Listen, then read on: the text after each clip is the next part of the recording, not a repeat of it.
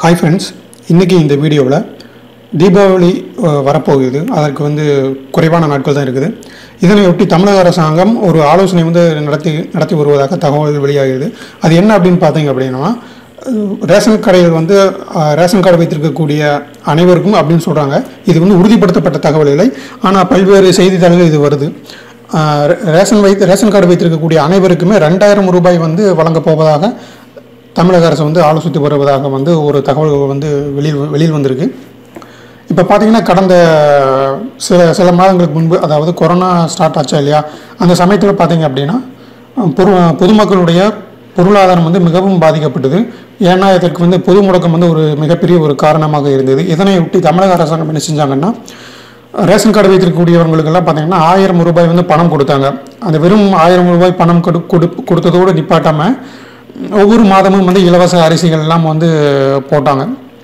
இன்னும் சொல்லப்போனால் ரேஷனில் போடக்கூடிய அந்த இலவச அரிசி எவ்வளோ வேண்டுமானாலும் வாங்கி கொள்ளலாம் அப்படிங்கிற மாதிரிலாம் அவங்க கூட இருந்தது. இது வந்து இப்போ கடந்த சில மாதங்களாக வந்து நடைமுறையில் இருந்து வந்தது. இப்போது வந்து என்ன பண்ண போகிறாங்க அப்படின்னு ஒரு தகவல் வந்திருக்கு அப்படின்னா தீபாவளி பண்டிகை வருது. அதன் காரணமாக வந்து ரேஷன் கடையில் யார் யாரெல்லாம் வந்து ரேஷன் கார்டு வச்சுருக்காங்களோ அவர்களுக்கு வந்து ரெண்டாயிரம் ரூபாய் வந்து நம்ம கொடுக்கலாம் அப்படின்னு ஒரு பிளான் பண்ணுறாங்களாட்டாக்கு இதற்கு காரணம் வந்து என்ன சொல்கிறாங்க அப்படின்னம்னா இப்போ பொதுமக்களுடைய இந்த பொருளாதாரம் வந்து மிகவும் வந்து நலிவடைந்திருக்குது. கொரோனா பொது முடக்கத்தின் காரணமாக மிகவும் வந்து பாதிக்கப்பட்டு இருக்கிறாங்க அதன் காரணமாக வந்து இரண்டாயிரம் ரூபாய் கொடுத்தோம் அப்படின்னா அந்த இரண்டாயிரம் ரூபாயை வைத்துக்கொண்டு பொதுமக்கள் வந்து சிறப்பாக கொண்டாடுவாங்க என்பதை வந்து கருத்தில் கொண்டு இதனை வந்து செயல்படுத்த போவதாக ஒரு தகவல் சொல்கிறாங்க இன்னொன்று வந்து மிக மிக முக்கியமான ஒரு தகவல் என்னென்னா இந்த மாதிரி ரெண்டாயிரம் ரூபாய் கொடுக்க போவதற்கு வேறு ஒரு முக்கியமான காரணம் இருக்குது. அதாவது சட்டப்பேரவை தேர்தல் வந்து அதுவும் கிட்டத்தட்ட நெருங்கி வரக்கூடிய ஒரு சூழ்நிலை இருக்குது. இந்த சட்டப்பேரவை தேர்தலை முன்னிட்டு ரெண்டாயிரம் ரூபாய் கொடுத்தோம் அப்படின்னம்னா பொதுமக்கள் மத்தியில் நமக்கு ஒரு நல்ல பேர் ஏற்படும். அந்த நல்ல பேர் வந்து நமக்கு வந்து ஓட்டாக மாறும்.